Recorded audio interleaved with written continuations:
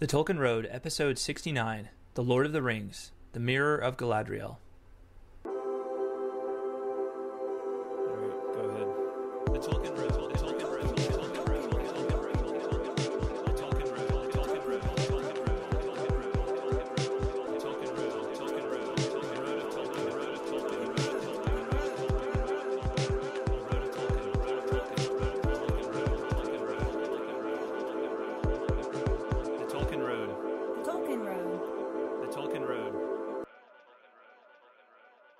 Hey there, fellow travelers. Welcome to the Tolkien Road, a long walk through the works and philosophy of J.R.R. Tolkien.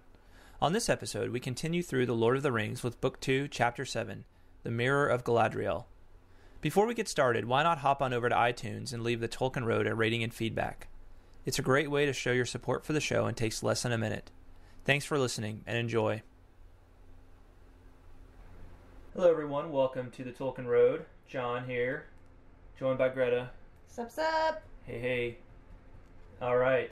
We are in chapter 7 of book 2 of The Lord of the Rings, Yeah. The Mirror of Galadriel. Mirror of Galadriel. Mirror, mirror on the wall. Who's the fairest of them all? Yeah. I'd say it's uh, Probably Galadriel. probably Galadriel. Yeah. It's pretty fair. That's, uh, yeah, that's a good guess. hmm But we'll find out for sure in this chapter. Uh, yes, we will. We shall. We will and we shall indeed. All right. So, So we're just gonna jump right in. well, yeah, we're, Let's just do it. we're doing haiku near the end now. I so, know, I know. Yeah. In case you weren't listening the last two episodes. I was listening. Okay. Um, No respect. Yeah. So, um, we pick up this chapter, the Fellowship has been uh, journeying from the eastern slopes of the mountains, uh, the Misty Mountains, Right. after leaving Moria. Yep. They've been journeying towards Lothlorien, and they've been in Lothlorien for a little while now. Yes. Before They've been in the forest of Lorien, but they haven't quite reached the center of it. right. They were traveling blindfolded for a while, Mhm. and then they've removed their blindfolds, and they're getting kind of close to the heart of of uh, Lothlorien. Right. So, and they arrive at this little city called um, Caras Galadhon. Caras Galadhon. Caras Galadhon. Yeah. Um, it says suddenly they came out into the open again and found themselves under a pale evening sky, pricked by a few early stars. There was a wide treeless space before them, running in a great circle and bending away on either hand. Beyond it was a deep fosse, lost in soft shadow, but the grass upon its brink was green, as if it glowed still in memory of the sun that had gone. Upon the further side there rose to a great height a, a green wall encircling a green hill thronged with mallorn trees, uh, taller than any that had yet they had yet seen in all the land. Their height could not be guessed, but they stood up in the twilight like living towers. In their many-tiered branches and amid their ever-moving leaves, countless lights were gleaming, green and gold and silver. Haldir turned towards the company. Welcome to Caras Galadhon, he said. Here is the city of the Galadhrim, where where dwell the, the Lord Celeborn and Galadriel, the Lady of Lorien. But we cannot enter here, for the gates do not look northward. We must go round to the southern side, and the way is not short, for the city is great. Um, you know, I was thinking as we were as I was reading that this time around, um, that it kind of reminds me, in a way, this the city Caras Galathorn, Galadhon, reminds me of um, Gondolin, right? Mm. The Silmarillion. Yeah. It's kind of that. it's kind of Yeah. protects like hidden, protected by Mhm. this. You know, Gondolin is protected by this wall of mountains, and then it's kind of this shining city in the middle of of this you know little fort, natural fortress, Yeah. right? Yeah. You're right. Is surrounded by the forest, and it's this shining city in the middle of this forest. You know, so Good call. I wonder if it's uh if it's intended to have any, Any relation, Yeah. you know, inspiration from Yeah. Gondolin. But I just that just struck me. I can see. That's cool. But I don't know. Can you kind of envision what this looks like in your head? I think so. Yeah. Yeah, it's a place that I would want to visit. Yeah. I'd like to go to there. Go to there. Yeah. Um. Yeah. So I- don't want to. I don't want to get too bogged down in all of the description. I mean, you can read that there, but um, you know, it's it's pretty beautiful. To, I think it's worth trying to picture in your mind's eye all of these Yeah. all you know basically a city built from trees built from beautiful uh, tall trees um, full of lights and you know kind of on this on this large mound you know, Yes. risen on this large mound Yes. here. Um, so um, here dwell Celeborn and Galadriel. So Celeborn is the lord of Lothlorien, and Galadriel uh, is the lady of, of Lothlorien. And it's interesting. I mean, um, you know, I should have gone back and looked this up. Do I have Silmarillion in here? No, I don't. Darn it. Um, so Galadriel, of course, just a brief refresher on her. Um, Galadriel is um, is one of you know she she knew Feanor and Fingolfin Right. and yeah. She was, she was in the Silmarillion. right. Yeah. In fact, I think she was who was she a daughter of? She was a daughter of Finarfin, I think. Right. Oh, was she? I think so. I think she was one of Finarfin's daughters. Sounds good to me. Yeah. So, um, yeah, she um, she knows what the Blessed Realm is like. She lived there for a long time, and so she brings some of that um, some of that with her to Lothlorien. So she's been alive a long time. Yes, she has. Yeah. I mean, several, you know, at least four or five thousand years, and in you know probably longer. It's Right. craziness. And she still Yeah. looks amazing. That's because she's immortal. I know. Still not fair. Yeah. Well, I wish I aged that well. don't we all? I knew you were going to say that. Um, well, don't you just know everything? I do. I can read your mind. You don't know me. I can. I can see inside your thoughts, just Yes. like Galadriel. Just like Galadriel. mm-hmm. Um, so they meet with Galadriel. They, they uh, Celeborn and, and Galadriel want an, want a meeting with uh, the Fellowship, and Right. um, and so at first Galadriel wants to speak about um, Gandalf, Right, and they know they're Gandalf. coming, right? Yeah. Because they've heard from a um, messenger. from Rivendell, Yeah, right? They've, they've been in touch with um, Elrond, right. right? Which I was thinking about that, and I don't think it specifies exactly how, and I was kind of wondering like what, how would they have? It had to be a messenger. Well, I know. Well, but was it like a bird? I was gonna say probably a bird. Yeah, that's what I was kind of thinking. Yeah, Because the bird would have had the easiest time getting over the, the the mountains. mountains and would have been faster than they are. Right. I mean, elves are pretty swift on their feet, but Yeah. But I mean, I guess, only I been guess it could have been. A. I guess it could have been a lone elf. well, how much time do you think has passed since they've left Rivendell?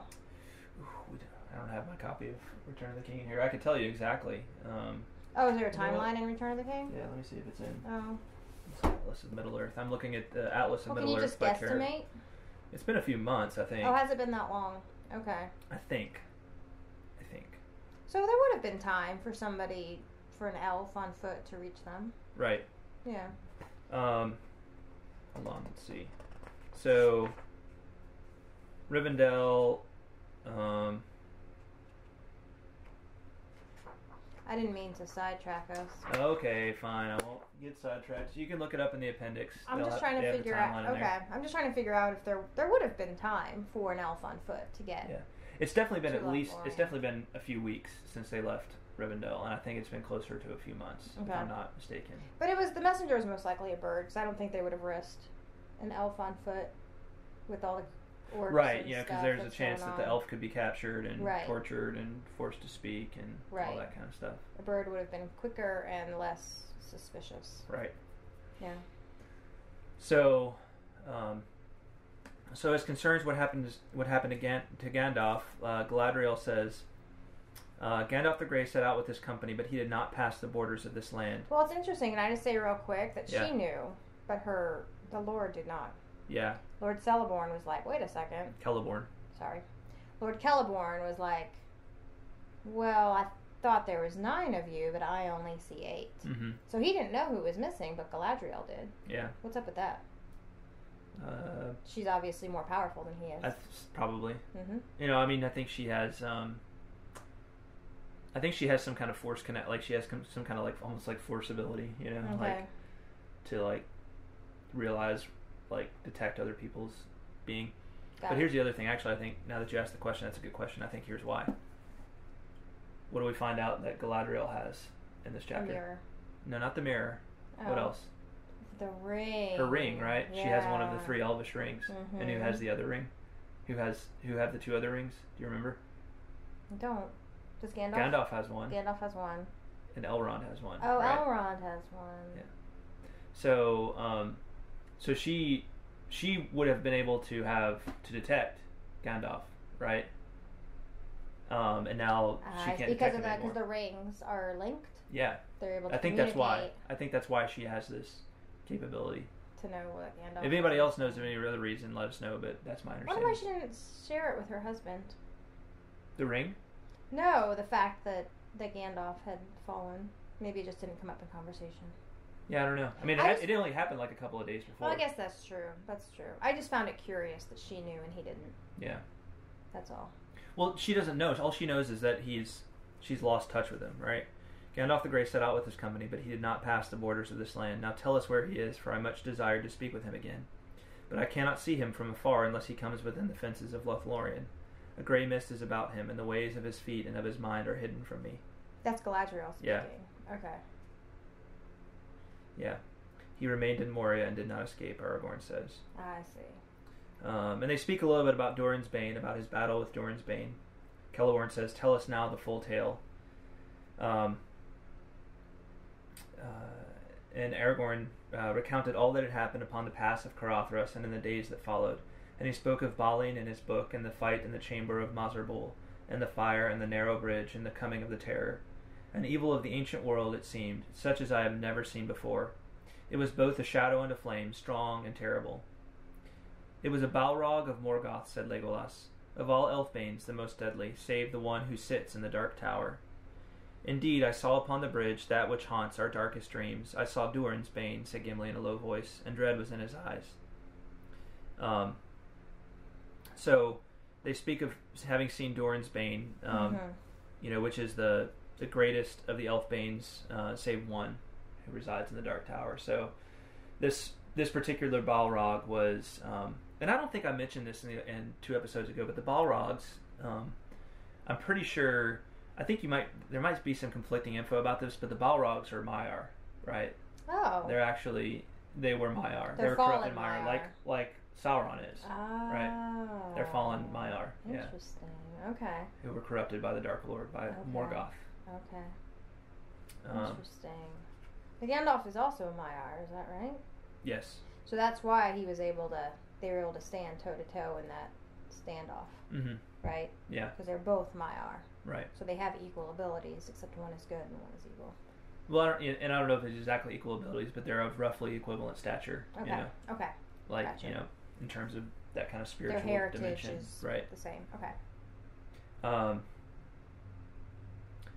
so, um, yeah, so they speak they speak some of Durin's Bane, and then um, uh, Gimli, of course, um, is feels weird about being here, and Celeborn is not very happy that he's here. Yeah. He's. He's good. What were you gonna say? I was gonna say I thought that was funny. Yeah.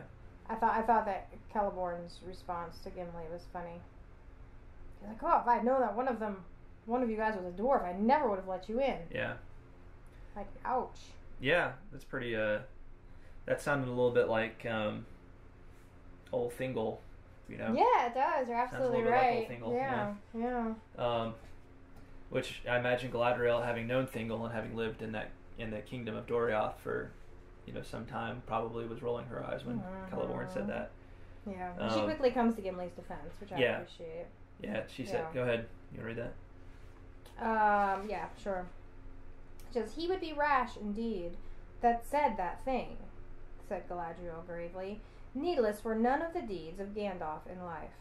Those that followed him knew not his mind and cannot report his full purpose, but however it may be with the guide, the followers are blameless. Do not repent of your welcome to the dwarf. If our folk had been exiled long and far from Lothlorien, who of the Galadhrim even Celeborn the Wise would pass nigh, would not wish to look upon their ancient home, though it had become an abode of dragons. Yeah. And then she Um, goes on to basically kind of, you know, to show her respect for the lore and the Mm-hmm. the um the heritage of the dwarves, because she mentions all there you know their pillared halls and you know, their mighty kings and you know I think I think Galadriel has some respect for the dwarves. Yeah, well, and there's something, you know, there's something deeper going on here too because it says he met her eyes, Gimli met her Mhm. eyes, and it seemed to him that he looked suddenly into the heart of an enemy and saw their love and understanding. Wonder came into his face, and then he smiled in answer.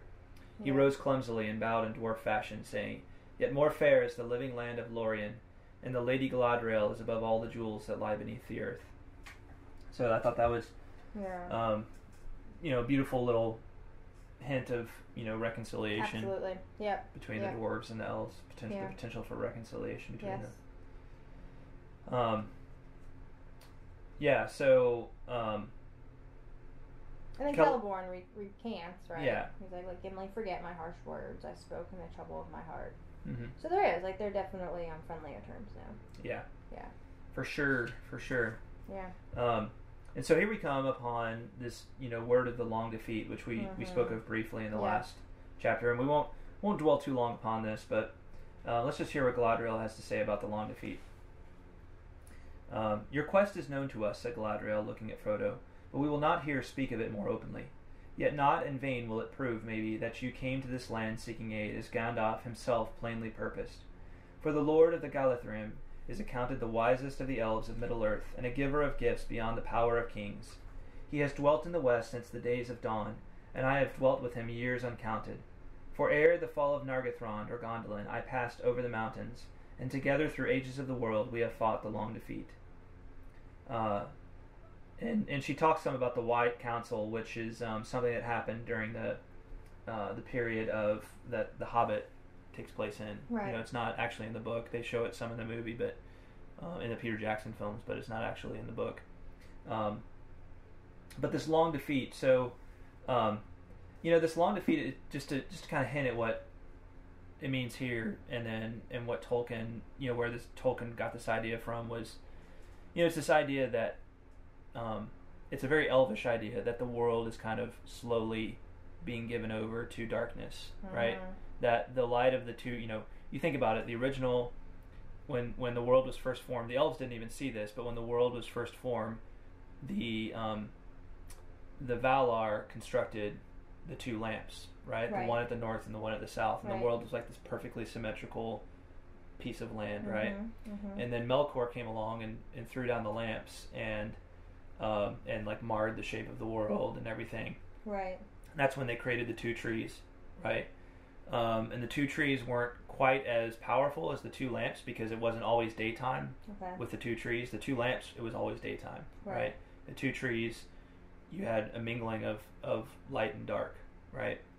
Um, and then Melkor destroys the two trees with the help of, oh, the spider. yeah, Ungoliant. Ungoliant. Yeah, and um, and at that point they have to take the fruits of the two trees, and that's where they get the sun and the moon. Right. Right. Right. So and and then you have a de- very definite night and day, right? Mhm. Um, and and all and and even then, compared to when we're looking at now in the third age, this was a long, long time ago that all this was happening, and so and and you have all the intrigue with the uh, theft of the Silmarils, and um, and you know everything that happens in the Silmarillion, and even as Morgoth is defeated, um, there's still this sense that all of the evil that he wrought is still kind of you know carrying along and reproducing in different and Mhm. various ways, and the the seeds that he sowed are still coming to fruition, you know, in different ways throughout the world. And so there's just this sense among the elves that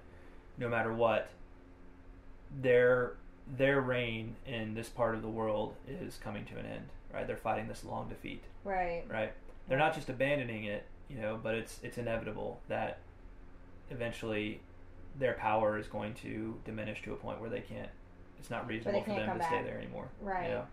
Yeah. Um, so even though they've like they've been you know they've, they've suffered some pretty big defeats so far, but they've been able to kind of cut their losses and move on. mhm.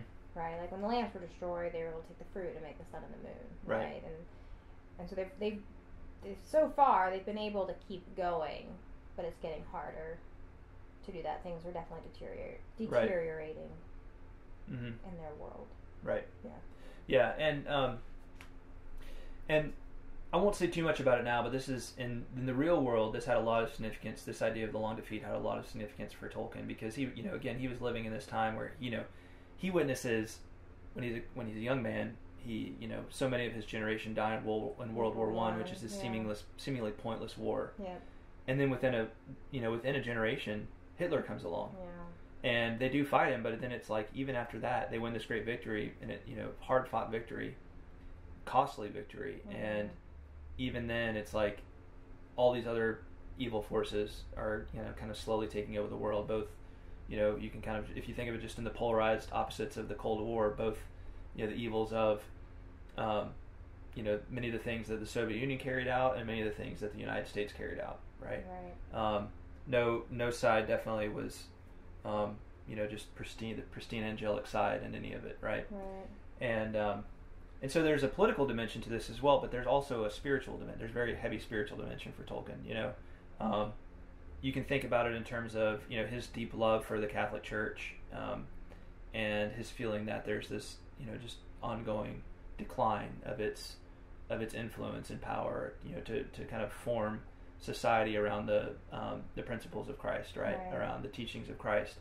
Um, and it actually goes back some to uh, to his love for kind of the pre-Christian uh, pagan works of, of Northern Europe and the pagan cultures of Northern Europe. Um, you know, his love for the poem Beowulf, which he views as kind of this bridge work between a pagan culture and a Christian culture.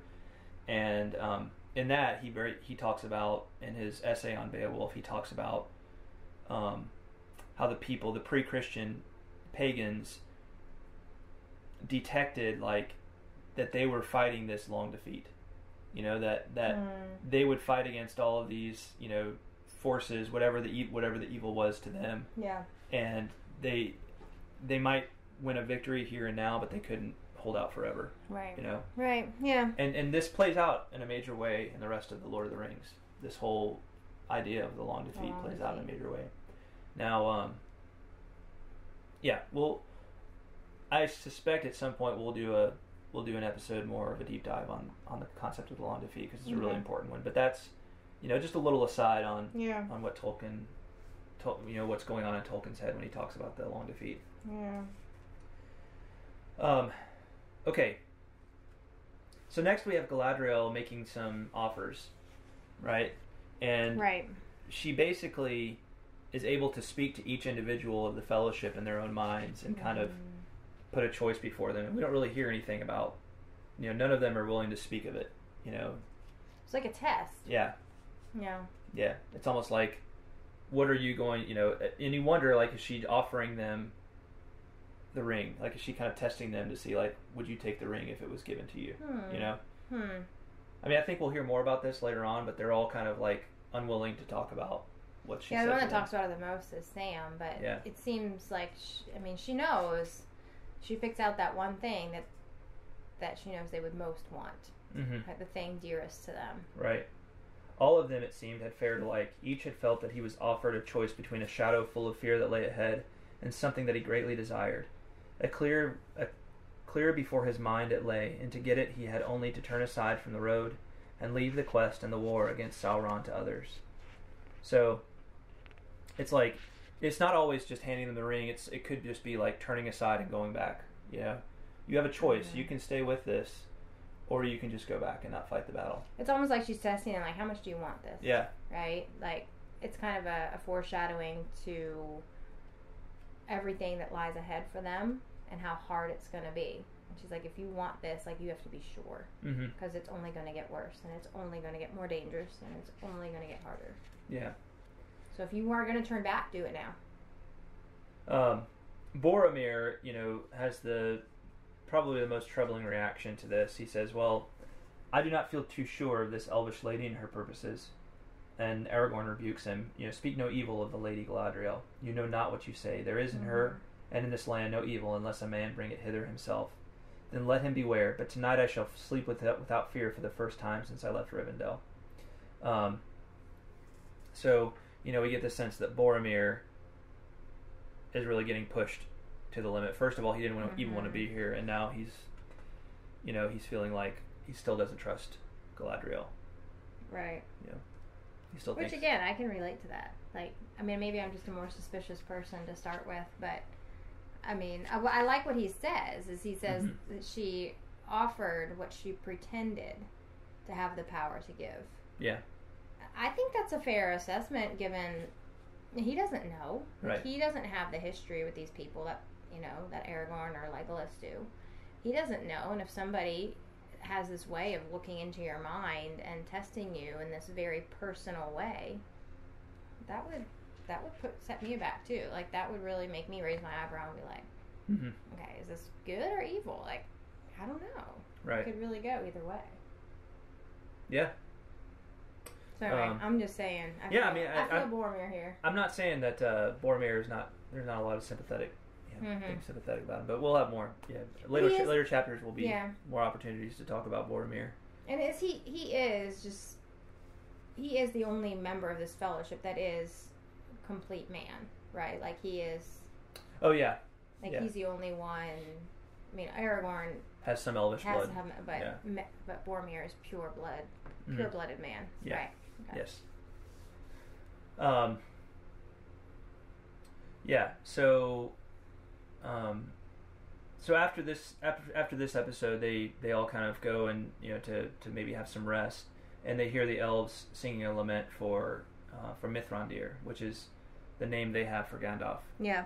Um, and Frodo at that decides that he's going to sing his own um, his own song for for Gandalf. Right. So let's uh, let's do that one. Okay. Uh, why don't you start? Okay. When evening in the Shire was grey, his footsteps on the hill were heard. Before the dawn he went away, on journey long without a word. From Wilderland to western shore, from northern waste to southern hill, through dragon lair and hidden door, and darkling woods he walked at will. With dwarf and hobbit, elves and men, with mortal and immortal folk, with bird on bough and beast in den, in their own secret tongues he spoke. A deadly sword, a healing hand, a back that bent beneath its load, a trumpet voice, a burning brand, a weary pilgrim on the road. A lord of wisdom throned he sat, swift in anger, quick to laugh, an old man in a battered hat, who leaned upon a thorny staff. He stood upon the bridge alone, and fire and shadow both defied. His staff was broken on the stone, and Khazad-dûm his wisdom died. And so it's it's a little bit incomplete, but um, you know, pretty you know, pretty harrowing. You know, Mhm. obviously expresses a lot of grief on on Frodo's part. Yes. Um, and then Sam adds his own little uh, addendum about the fireworks. The Mhm. finest rockets ever seen, they burst in stars of blue and green. Or after thunder, golden showers came falling like a rain of flowers. But, you know, Sam isn't satisfied. Doesn't feel like that does them justice. So, Yeah. you know, I love Frodo here is so, like, you know, concerned with Gandalf's wisdom and everything. And Sam's just like, you forgot to say something about his fireworks. Right. You know? I know. I love that. I think it's it definitely, you know, kind of um, just back to what we talked about last episode about the relationship between Frodo and Sam. And, you know, a little bit of Sam's character. Like that gives some really good insight, I Mhm. think, into into Sam. Yeah. Yeah. Well, it, it reminds you of what an important character Sam is in this because he he con- he consistently grounds, you know, brings this brings the story back and and the quest back to kind of a ground level, right? Mhm, You know, mhm. Frodo is too easily drawn up into the whole like elvish kind of kind of stuff, but Sam and and really Merry and Pippin as well kind of always bring it back to that to that ground like simple ground level. Yes, you know? that's true. That's true. Yeah. Good point. Um, so, um, so after this lament, they're speaking about the you know uh, the elves and you know what is what does Sam think of the elves now? Um, he says they're all elvish enough, but they're not all the same. Now these folk aren't wanderers or homeless and seem a bit nearer to the likes of us. They seem to belong here even more than hobbits do in the Shire. Whether they've made the land or the land's made them, it's not. It's hard to say if you take my my meaning. It's wonderfully quiet here. Nothing seems to be going on, and nobody seems to want it to. If there's any magic about, it's right down deep, where I can lay my hands on it in a manner of speaking. You can see and feel it everywhere," said Frodo. "Well," said Sam, "you can't see nobody working it. No fireworks like poor Gandalf used to show. I wonder we don't see nothing of the Lord and Lady in all these days. I fancy now that she could do some wonderful things if she had a mind. I'd dearly love to see some elf magic, Mr. Frodo." Um, so Sam calls out kind of a qualitative difference between the magic here and other sorts of magic. You know, he, he says like the elves have some kind of magic, but it's not the kind of magic that comes, you know, that is like obviously magic. Right, it's not like in your face Yeah, magic. Yeah. it seems a much more organic kind of thing, Mm-hmm. um, Mm-hmm. And almost more like a natural magic. You know, Almost more like a feeling, like something more. Um, graceful magic, I guess. yeah, graceful, not not so temporal, but more er- ereth. What's that word? Ethereal. Ethereal. Ethereal. Thank Yeah. you. Yeah. Yeah. Um, and at this, Galadriel approaches and um, she says, uh, even as he spoke, they saw as if she came in answer to their words the Lady Galadriel approaching. Tall and white and fair, she walked beneath the trees. She spoke no word, but beckoned to them. Yeah, that's definitely uh you know for effect there. Yeah. I'm Galadriel. This is how I, this is how I roll. if I were Sam, I'd be like, yeah, I didn't really mean everything that I just said, and I'm out Yeah. here. But they talk some more about magic because she so Mhm. she shows them the mirror. Um, Right. and I was thinking about the mirror in a way as like kind of um, kind of like the Examen, you know, like it's this way of reflect. You know, the mirror of Galadriel is this way of reflecting someone's own preoccupations and thoughts back to them. Mm. And so, the Examen is this um, Ignatian spirituality kind of thing where um, it's a daily thing that you do, or maybe even more often, uh, that you're always kind of seeking to kind of be able to examine your own motives behind things. Kind of you know- see yourself from outside yourself. Exactly. That's how. That's actually how Ignatius puts it. Um, Igna- we're talking about Saint Ignatius of Loyola. He talks about you know at the end of the day, it's always good to do, you know, maybe when you're lying in bed or whatever, just to to take a moment and kind of review the day and the things that you did, your preoccupations, um, the the acts that you carried out, whether they were good or evil. Um, you know how you reacted to certain situations, even even internally, how you reacted to certain situations Yeah. you know, and to say, am I entrusting this all to God, right? Am I am I entrusting this to God, or am I like preoccupied with other things, right? And so it's this way of kind of dealing with the bad, you know, your own motives and and forming them along the purpose that they really need to be going in. Got it. So the the mirror of Galadriel, as I was reading at this time, reminded me of that. I can see why. Yeah. Good call. Um, so, um, Galadriel is speaking with Sam, um, and she she addresses Sam first, you know, with in terms of the mirror, and she says, "Did you not say that you wish to see elf magic?" Um, and then Sam says, "Yes, I'd, I'd like to see it." Um, but uh, Sam looks in, and he has a he has kind of a, a terrifying vision of really awful things happening to the Shire. Yeah. Um, he sees Ted Sandyman tearing down trees that he shouldn't, and then they're building, and then he sees them building up uh, this big red uh, chimney uh, next to a building, and there's this black smoke pouring out of it. And he says there's some devilry at work in the Shire, right? So, in a way, that this might be what Sam was shown in his mind before, right? That there's some, you know, it's, he's he's being called back to the Shire. It's like you got to go back to the Shire and help. Yeah. And it's like, so are you going to go do that, or are you going to go continue with Frodo on this journey? You know, Yeah. I mean, oftentimes that's kind of the choices we're offered in situ, you know, in, in difficult situations, right? Right. It's like, do we keep doing the thing that's, you know, the right that's in front of us, or do we become preoccupied with some greater, you know, last I guess episode, I'm more personal. the last the last uh, chapter episode, we were talking about social media, and I feel like Mhm. with the prevalence of the internet today, it's easy to get wrapped up in all of the things that are wrong in the world Oh, instead of sure. instead of like what's in front of me, like Mhm. what what are the things that are right in front of me? Am I more concerned about Yeah. you know what's going on in the Middle East or in Europe or you know in the in another state or whatever, or am I concerned about doing you know seeking the justice and doing the things that are right in front right of me? in front of me. Yeah. Yeah.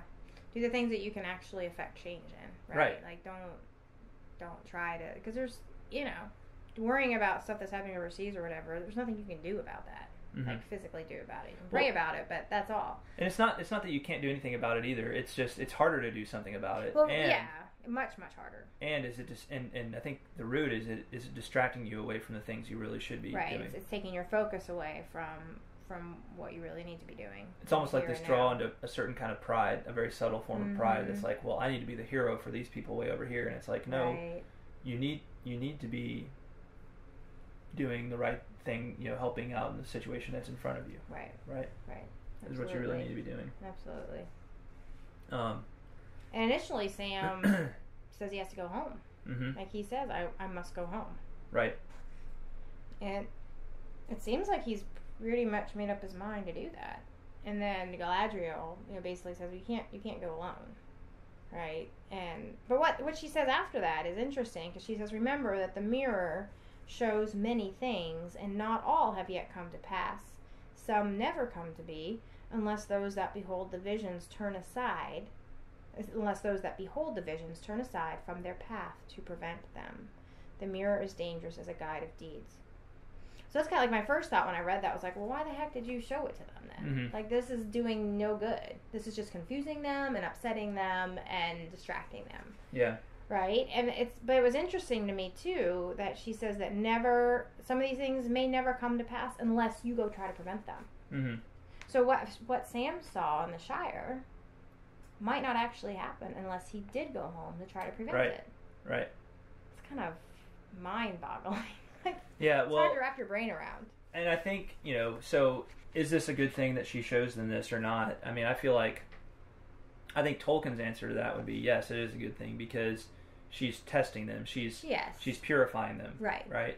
right. Um, and, and in a large way, that's when we talked about the Examen earlier. That's the role of the Examen. You Mhm. know, is to pure is to purify your intentions. Right. Yes. Like, like what am I actually? Am I? Do I have a good recognition of who I am and what I'm capable of, and Mhm. Um, of and of what I'm called to be doing right now?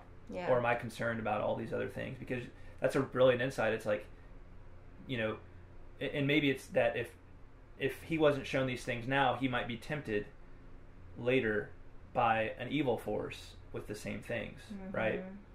And it might be harder to overcome it then when the when the path ahead is even harder, True. right? The path forward is even harder. It might be true. easier to go back and say, well, I'm just going to go back and try and help out in the Shire, Mm-hmm. you know. Mm-hmm. That's a good point.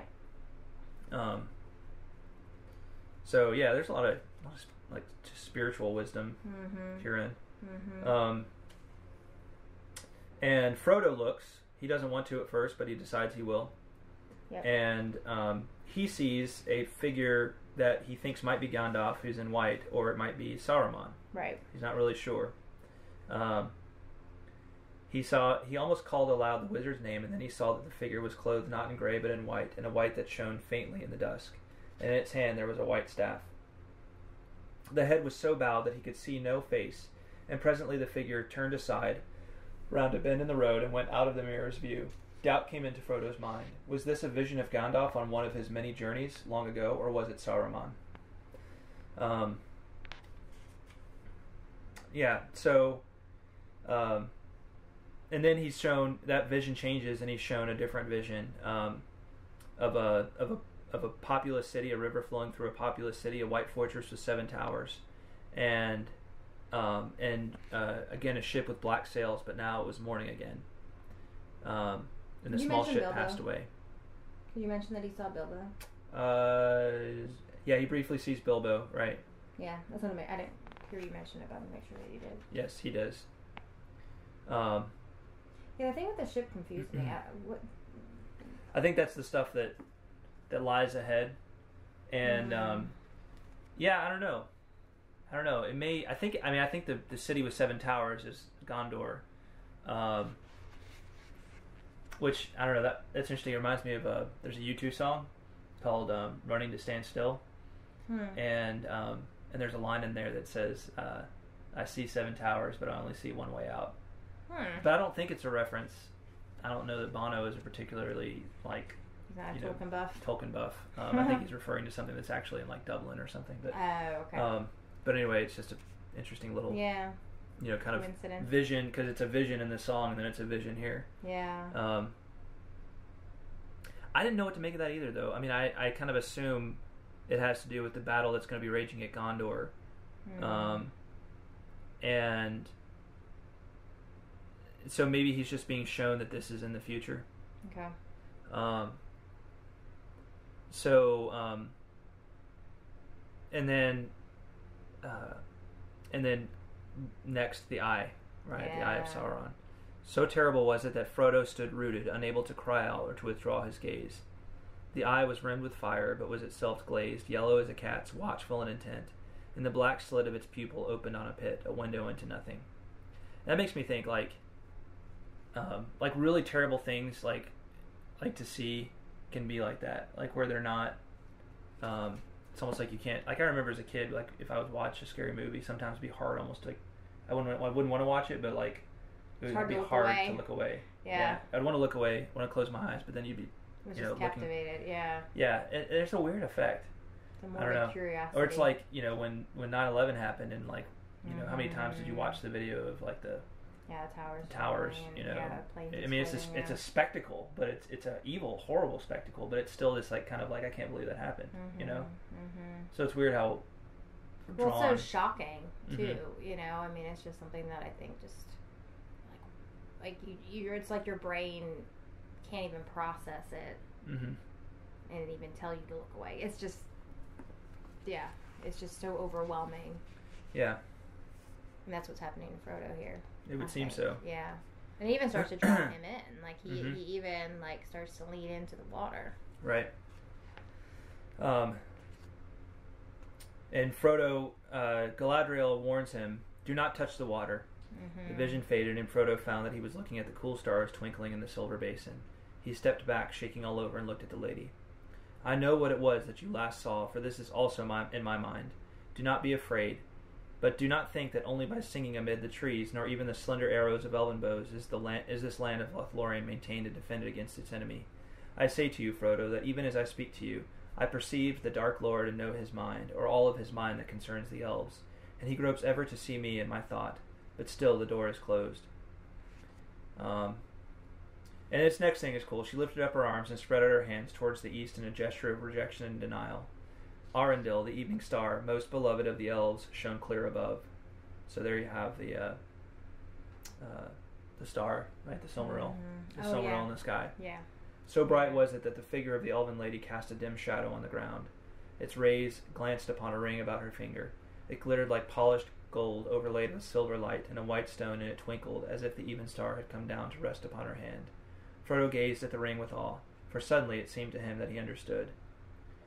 Um, yes, it is not permitted to speak of it, and Elrond could not do so, but it cannot be hidden from the ring bearer and one who has seen the eye. Verily it, it verily it is in the land of Lorien upon the finger of Galadriel that one of the three remains. This is Nenya, the ring of Adamant, and I am its keeper. Um, so Sauron suspects, but he does not know for sure yet. So is that what the eye was looking for? Um, yes, I mean I think it's looking for Just her looking for the rings. and looking for the ring, right? Okay. Um, But is it looking for Frodo's ring or is he looking for her ring? He just I think senses both. that there's that they're there. I think he's okay. looking for both. Okay. Um, yeah, and then Frodo kind of turns the tables on Galadriel. Then he says, "And what do you wish?"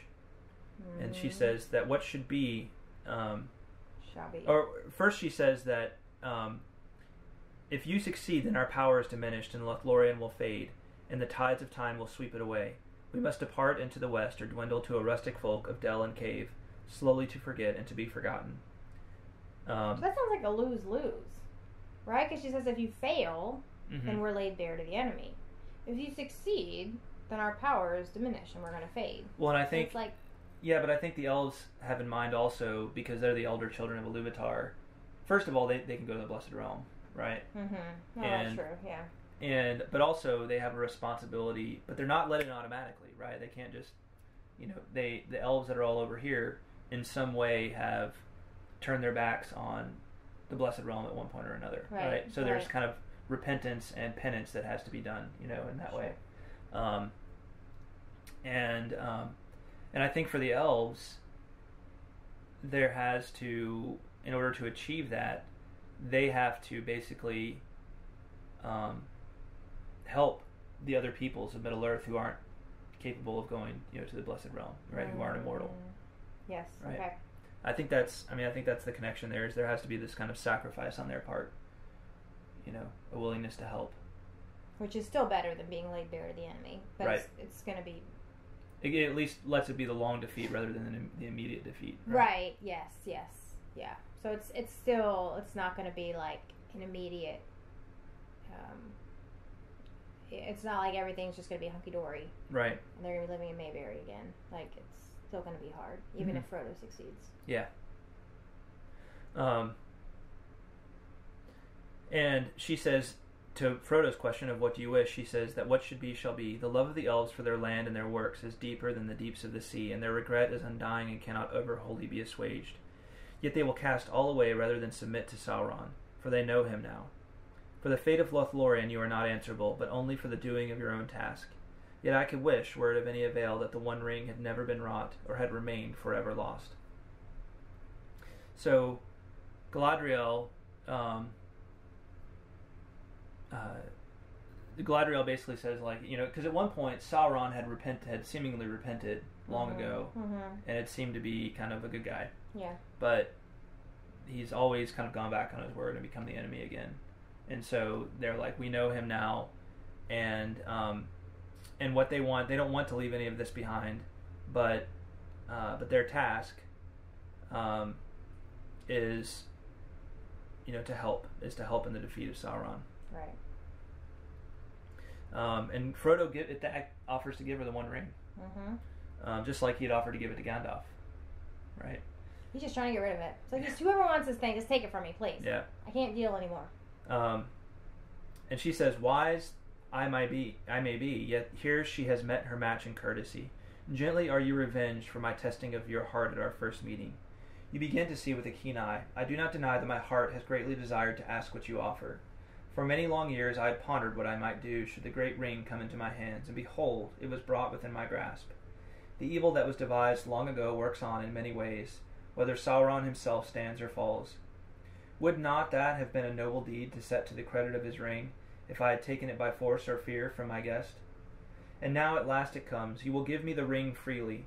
In place of the Dark Lord you will set up a queen, and I shall not be dark, but beautiful and terrible as the morning and the night, fair as the sea and the sun and the snow upon the mountain, dreadful as the storm and the lightning, stronger than the foundations of the earth.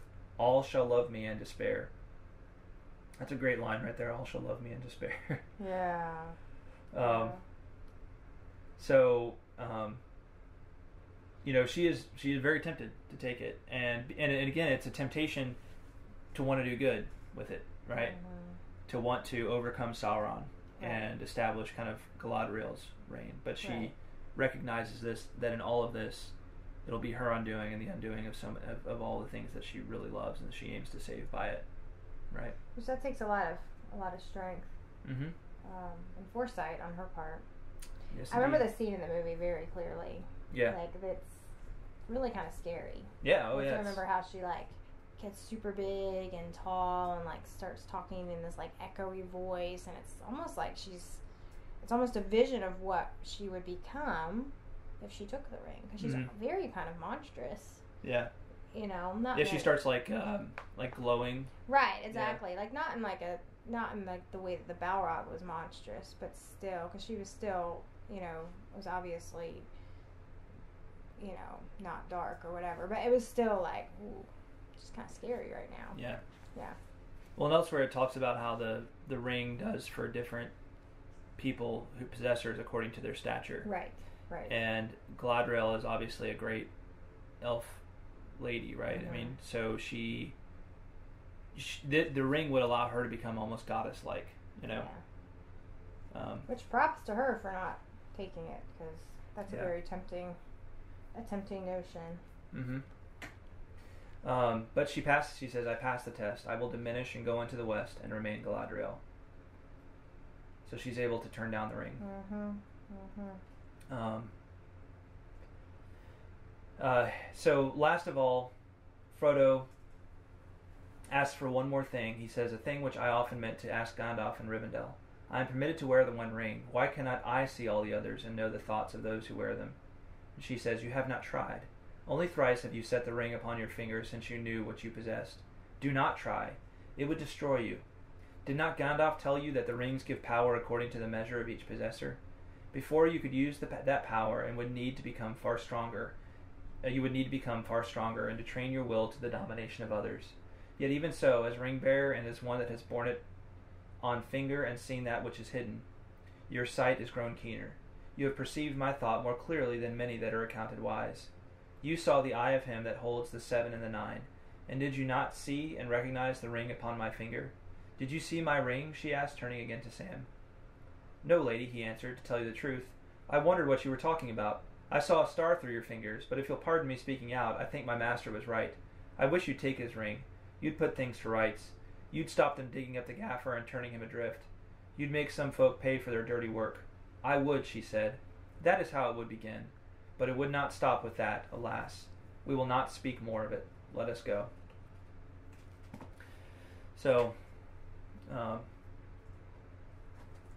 good little last bit of philosophizing upon the nature of the ring, Mhm. you know, and of Mhm. wanting, and you know, and of what the ring in a way represents, which is wanting to a means of doing good that is nevertheless illicit, right? It's against the law, right? Yeah.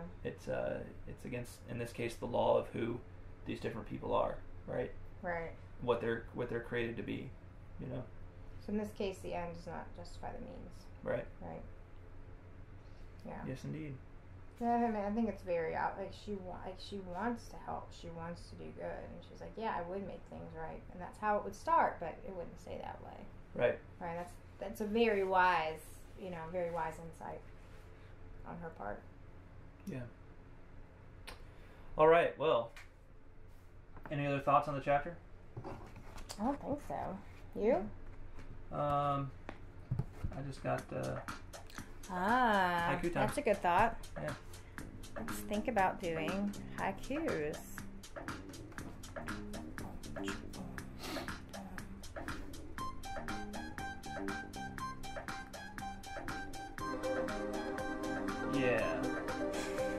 Haiku time. Haku time, haku time, haku time, haku time, haku time. All right, let's do this. Yes, indeed. Another uh, another round of rock paper scissors for us. Yeah, just one moment. I'm I'm, I'm checking up on something. Sorry. Checking up. What am I supposed to do? This dead airspace. I don't know. Should I tell a story? Sorry. All right, here we go. I'm ready now. You're ready now. Okay. All right. Ready? Rock paper scissors. Rock paper scissors shoot. I'm on to you. Rock paper scissors shoot. Oh darn it! Haha. Darn it! Rats. Oh well. Uh, Better win. luck next time. Yeah. All right. Okay. Um, I'll go first. Okay. I got two, so Okay. I'll I only one, got and you can do one. Okay. Yeah. Perfect. Sad songs no justice can do to Gandalf's greatness, yet sing they shall still. Oh, that's sweet. Yeah, I like that. I like that a lot. All right, here's mine. Mirror and window. Evil tidings. Securing the fellowship's quest. Nice. hmm hmm We kind of talked about that. Yeah. About how it was a test, and it was they were he, she was refining them, right? Oh yeah, I remember that. Yeah. Yeah. That was uh that was back in episode sixty nine, right? Are we seriously on episode sixty nine right now? Yeah. Oh my gosh. Hmm. Well, anyway. Well, haiku two for me. All right. All right. Visions of greatness, of righteous bliss, like sirens, the wondering beckons. Hmm. Do you know what the sirens are? Oh, yeah, It's from the Odyssey, right? Yeah. Yeah. But you didn't capitalize it, so it threw me off. Oh, sorry. Well, you shouldn't be reading it. You should listen. I can I can understand visual if I can read. There you go. Now. There, Now now that's better. I understand now. Okay. Like he's talking about like a police siren or like the sirens. Woo woo woo woo woo woo. Man, I love the Odyssey. It's such a great story. Yeah. That's good. I like it. I like I like your uh what's that called? Analogy? Mm-hmm. Uh, yeah. Yeah. Good stuff. It's called a um. I guess that would be a simile. Oh, because you figure use like. speech. Yeah. Oh yeah, analogy is what this is to this, as that is to that. Yeah. I didn't do well on the English part of my SAT, in case anybody was wondering. That's all right. I'll still allow you to be the co-host. I didn't do well in my math part either. Oh, I better stop. This isn't true confession time. Okay, go ahead. All right. Well, oh wait, next, that, that was yours. Oh, Yeah. that was your second one. so okay. next up we got our guest. So we've got Rob. Rob, Feynman. coming through again. Um, here we go. Here's Rob's haiku. On her hand a ring, perilous, righteous and fair, wise Galadriel. I like that. That's really good. Perilous, Mm-hmm. righteous, and wise, and fair. All shall love me in despair. Yeah. Nice. Good job, Rob. Wonderful. Thanks, right. Rob. Josh. Josh. Here's Josh's haiku. Shining like the sun, greatest Noldor legacy, she, Galadriel. Hmm. I like that. Nicely done. So she's in Noldor. Yeah. Well, yeah, she's. We talked about that, right? She's related to. She's oh, to Finarfin. Finarfin. That's right. Noldor. Yep. Yeah. I get all the elven tribes mixed up. Cut me some slack here, okay? Yeah. Yeah. Um, and yeah, it's Uncle Feanor. Uncle Feanor, you know, That's all right. half Uncle guess. Pretty, uh, pretty impressive lineage there. Yeah. Good job, Josh. Well done. Thank you, guys. Well done, Josh. All right. Well, oh, for next time, um, so for chapters uh, for book two, chapter eight, and book two, chapter nine of Fellowship, um, we will the haiku for those are due on August third.